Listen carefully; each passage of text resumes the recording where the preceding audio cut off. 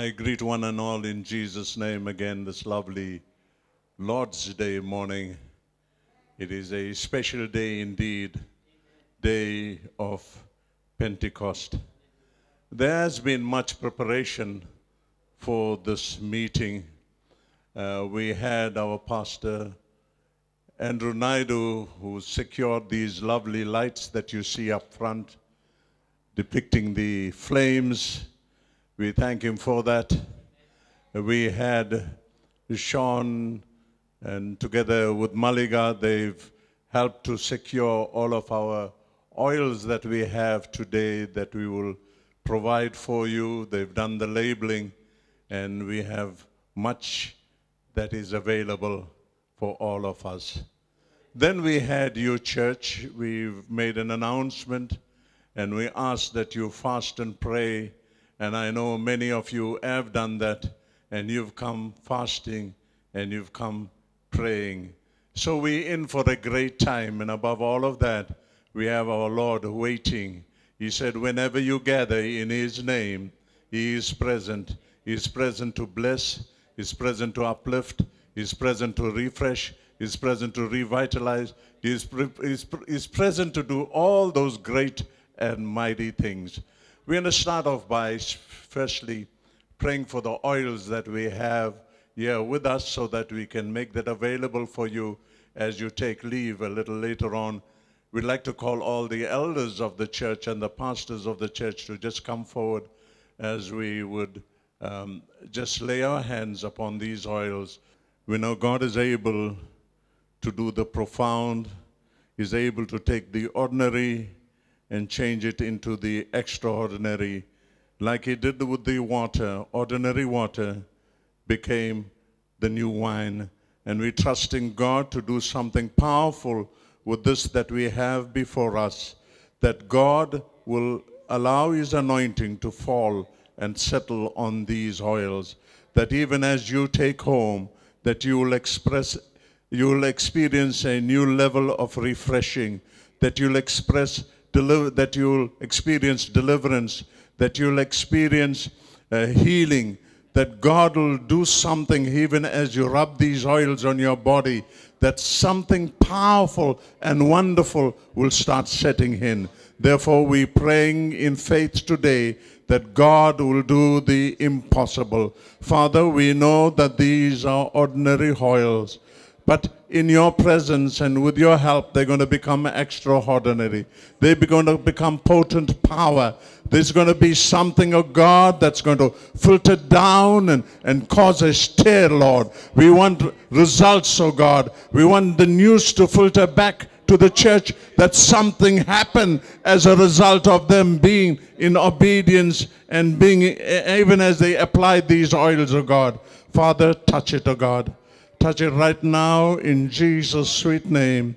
Let your blessings pour on these oils and through these oils, and even as they would enter homes, O God, may something profound happen. For this we ask in the name of the Father, the Son, and the Holy Spirit, for Jesus' sake. Amen and amen. Church, we live in exciting times, and I'm wanting us to look beyond where we are and understand there's excitement in the air, and it is our duty to catch it while we can. Sometimes things happen around us, and sometimes things are intended for us, and we miss it because we've been sleeping through it. But today, God is wanting us to be alert, alert as we see the signs around us. It is our season, and we need to um, be available even as God wants to use us. Just to recap, we know that Jesus was crucified on the cross. He was taken down. He was laid in a tomb. Three days later, he became alive and he stayed on earth for 40 days. During that time, he said much, and one of the things he said was this It is expedient that I go away. For if I don't go away, the Comforter will not come. But if I do go, I will send the Comforter, and he will abide with you forever. The Comforter is the Holy Spirit, and Jesus mentioned that he wants to come and he wants to stay with us always. Then Jesus told on the day of the, the day that he was going to ascend into heaven, he said that they needed to be together, that they needed to be in Jerusalem, and that they needed to wait for the promise of the Father. The Father had made a promise, and the Father had appointed a time, and Jesus was bringing to the attention of the disciples that that appointed time was near, and he asked them to meet. It was all about a meeting. They needed to meet in a specific spot in Jerusalem, in the upper room, for the promise of the Father. Jesus said, And you shall receive power after that the Holy Spirit is come upon you. God was wanting to turn the tide. God was wanting to do something new. God was wanting to do something different. God was wanting to empower his people. He was wanting to give them extraordinary strength and insight. And he said that they will receive power. After that, the Holy Spirit is come upon them, and they shall become tremendous witnesses. And we know that um, that, that power became available. It was power, transforming power. It was healing power. It was protecting power. It was devil defeating power. We know with it they were able to reach heights. They, we know that they were able to have the breakthroughs. We know that they were able to bring into being that which were not. We know that they were able to tread on serpents. And we know that with that power they could allow God to rise and the enemy be scattered. You have that power, you have that authority, and today we're going to have more of that power and more of that authority because God is wanting us to be the head and not the tail. God is wanting us to be winners and no more losers. God is wanting us to be victors and not victims. God is telling us today that this final day encounter is going to be the power, is going to be the final day where power is going to be present. And he said that in the last days, he's going to pour out his spirit. Is today the last days? It is. And now is the time that Jesus spoke about then. We uh, let's start by reading that portion that we've heard earlier on in our invocation, uh, Acts chapter 2, verse number 1 onwards. When the day of Pentecost had fully come, they were all with one accord in one place, and suddenly there came a sound from heaven as of a rushing mighty wind and filled the whole house where they were sitting. Then there appeared to them cloven tongues of fire and sat, sat on each and every one of them. This was an event that John the Baptist spoke about. He said, There is one coming after me whose shoes I'm not worthy to loose or tie. He shall baptize you with the fire and with the Holy Spirit. And this is the event that John the Baptist spoke about the baptism of fire and the baptism of the Holy Spirit. They needed to be together. This was the meeting place. Over all of the centuries, this was the designated time and this was the designated place. They needed to meet. And I'm glad today that we have a large number that have come to meet with God. Sometimes we have our own views as to how we would like to have things done. But God thinks a little differently, and this is what God said that they needed to be all together, they needed to be all in one place, they needed to be all in one mind.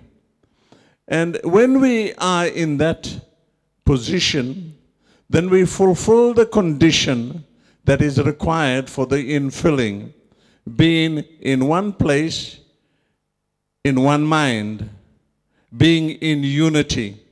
And that is exactly what had happened that day.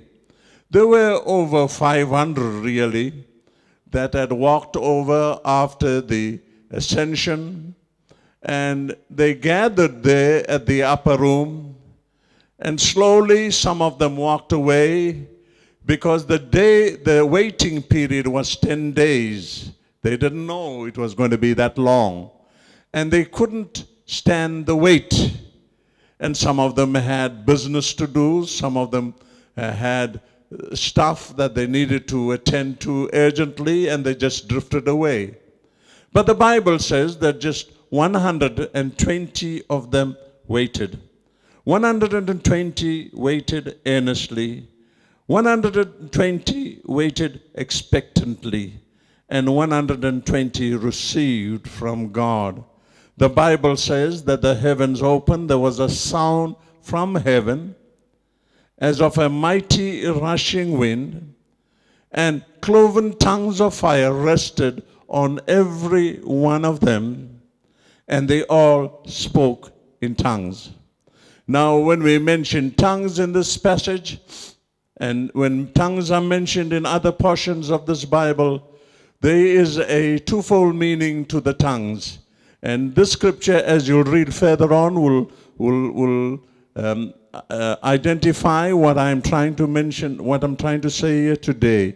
Firstly, you have tongues as a language. And these people that heard it, heard it as a language. And they were able to get saved because they heard their dialect through these tongues. But then you have the tongues also as an angelic voice or an angelic message or an angelic language. And, and, and God wants us to also use those languages so that we can confuse the enemy. So the enemy is not aware of what we're talking about. And so today I'm hoping that there will be many that will just open up and start just talking in tongues as the Spirit gives you utterance. I'm aware that it is not something that you are personally wanting to do, but it is the Spirit that will come upon you, and the Spirit will give you utterance. You'll suddenly found, find your mouth moving, your tongue moving. You'll find suddenly find words coming in that you cannot understand. You don't know where it came from, but it is God now dealing with you and has you on a private line. God has all of us on His private line. We have a secret code, and God uses tongues as one of those codes. And I, and I trust that many of us would, would, would start praying in tongues and, and, and enjoying the wonderful um, uh, passage or wonderful messages that God is wanting to give us. Now, what was the prophecy of the whole time? This is what the prophecy of the whole time, as prophesied by Prophet Joel. It says, and it shall come to pass in the last days, I will pour out of my spirit upon all flesh. God was giving, going to pour out of his spirit. He was going to share himself. And he was going to touch all flesh. He says, Your sons and your daughters shall prophesy. Your young men shall see visions. Your old men shall dream dreams. On your servants and handmaidens I will pour out of my spirit, and they shall prophesy. What is this all about? What is this all about? God was trying to show that He was supreme, that He was mighty, and He was wanting to impart to us that are fragile, that are weak, that are inadequate.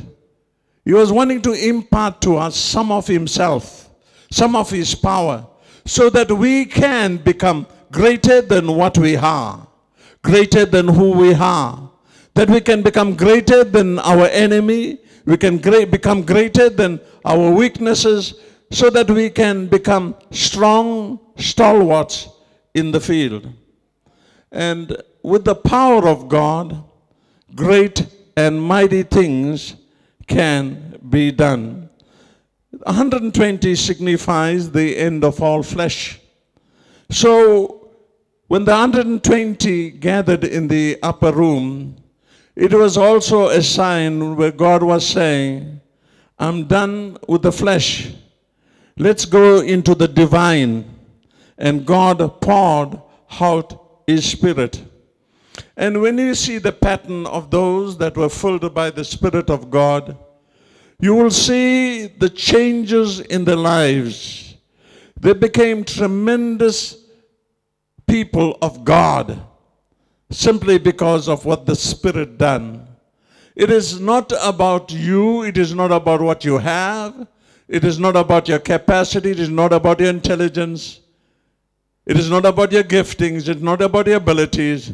It is about what the Spirit is able to do in and through every one of us if we allow Him to. And we find that in Ephesians 4 6, it says, There is one God and one Father of all, who is above all, through all, and in you all. God is wanting at this time to come in, is wanting to take control of our lives, is wanting to take us by the hand, and is wanting uh, to take us through the treacherous path that is before us. And I know that as we wait on Him today, as we call on Him today, as we pray to Him today, as we open up ourselves to Him today, something profound is going to happen. What we're going to do in a short while is that we're going to get engaged, you're going to engage in a whole lot of singing and worship. And even as you do that, you set the atmosphere for God's presence to come upon you. And I'm wanting all of us today to be focused on what is required. And even as you become focused, great things are going to happen. I'm convinced that this is going to be a new season for all of us, including me. I've done a little poem some while ago called New Season for Me, and I thought it's just fitting that I should read it at this time, just before we get into worship. After months of preparation, we have come a long way. We want to hear a word. What does the Lord say? We have a made up mind, want to give up the hold. Better go with the new. This we are told. Going to happen soon, as to be in this place. Here, the presence of God will be able to trace. Many a saint today will readily bow with no question asked, no wonder how. That God Almighty will reach down low with all His Spirit, His presence to show. The thirsty souls will find the drink to quench their hearts and make them think. They will understand it was the word. They must not shake. They have heard. To attend to this message, we dare not wait. Don't be like others, don't leave it late. For mischief has a habit of deceiving the mind, that many go wayward, easy to find. We're going to listen, we're going to heed. We know what's wanted, we know the need. We're going to rise, no more to keep. Going to scatter the seeds for the harvest to reap. We found our purpose, why we were born, to touch many lives before we've gone. Excuses we have, many more can be found. Like minded people are always around. But it's time to change, it's my season. This is the meeting place. I come for a reason. But it's time for change. It's my season. This is the meeting place. I come for a reason. I'm going to look up, going to hold that hand, shifting my gaze with Him to stand. No more turning back, nor sitting down still, ready to get up wanting him to fill. I hear his voice. I hear his call, wanting to commit to my life, give him my all.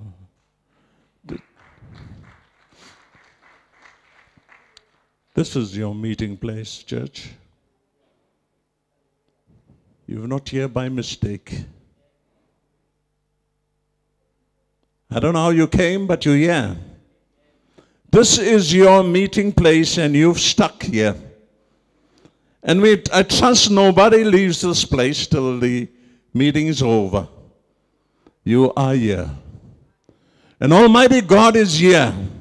He's going to do a shaking, He's going to do a shifting, He's going to do a repositioning, He's going to do some things with you today because He has you all for himself. And I am hoping today that you will say, It's my season. I give you my everything, Lord.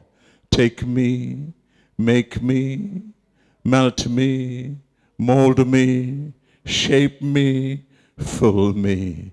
Here's my cup, Lord. I lift it up, Lord. Here's my cup. Here's my cup, Lord. I lift it up. Won't you fill my cup, Lord, till it overflows?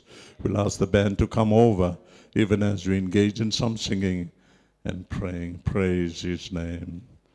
Praise the name.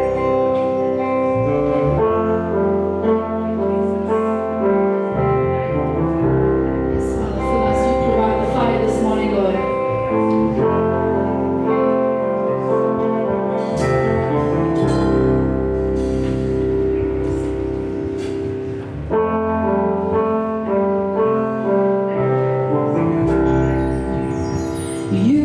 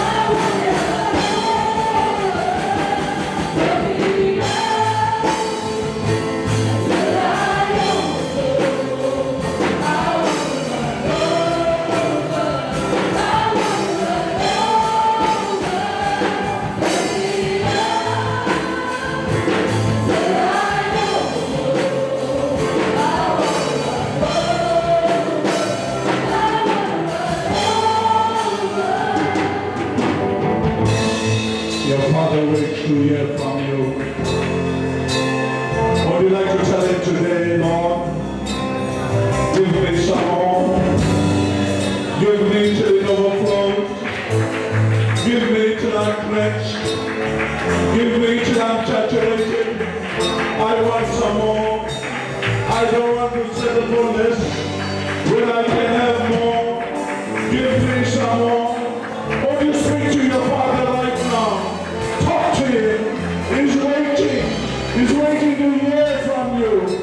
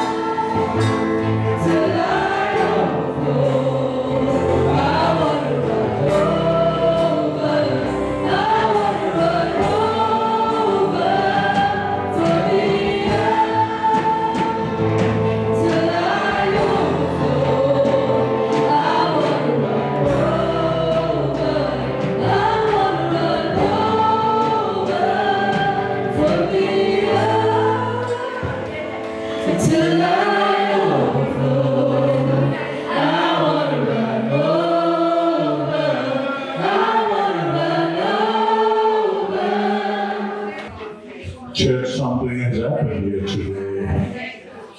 The Spirit has visited. The Spirit has settled. The Spirit has touched. The Spirit has set apart. You no more what you used to be. You've now called out. You've now set apart. You've now selected. You've now chosen by God to be part of Him. God's now installed in you a new mechanism, the power from heaven. You have the power of the Holy Spirit. You have the fire of God burning inside of you. You no more the same. You may look the same, but you're no more the same. I want to tell you today that you're no more the same because God has touched you and God has called you as part of His own. I want you to just raise your hands together as you conclude today. Say, Father, thank you for today. Say, Father, thank you for today. Thank you for being with us. Thank you for visiting us.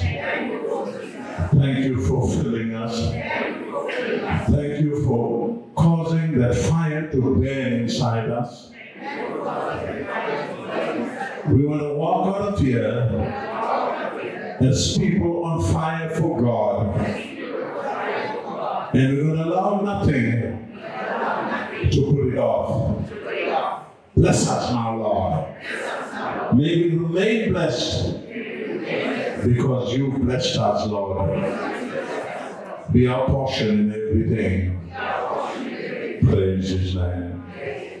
Let me say the benediction and now may the grace of God, the love of his Son, our Lord Jesus Christ, the sweet fellowship of the blessed Holy Spirit, with you always, even till Jesus comes. Amen. God bless you, church.